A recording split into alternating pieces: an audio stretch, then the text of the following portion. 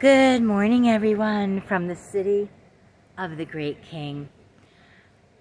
So, the fire that I have burning in my bones this morning, I really believe is something that's very important to God.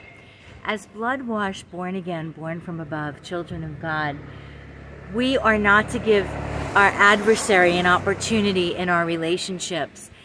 And I learned many years ago by one of my mentors, Yanit Ross, her and her husband Reuben uh, Ross were pastors at one time of King of Kings, and then they both went back to Texas to take care of their parents many years ago.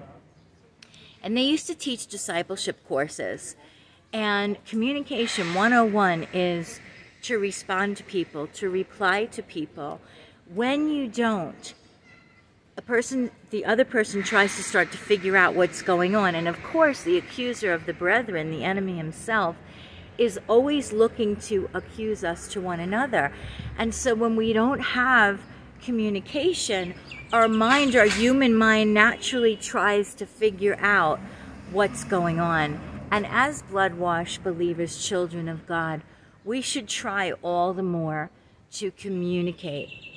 And so I'm dealing with something right now, and this is why I'm speaking about it because it's so important to communicate we need to watch ourselves. And I was with some dear friends last night and we were talking about believers. And for me, at this point, walking with the Lord for a few decades now, it doesn't matter what people call themselves, it's how we act and how we behave if we're living a life that God would be pleased with. Telling somebody a believer, it doesn't mean anything to me.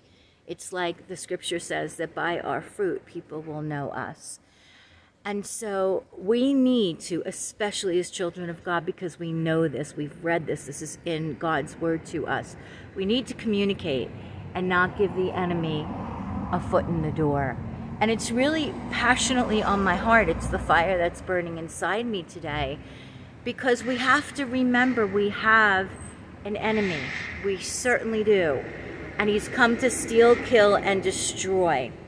He's got nothing original to say. He's not a nice guy. And so we are called to be vigilant and guard our hearts and guard our relationships in the name of Yeshua. Amen.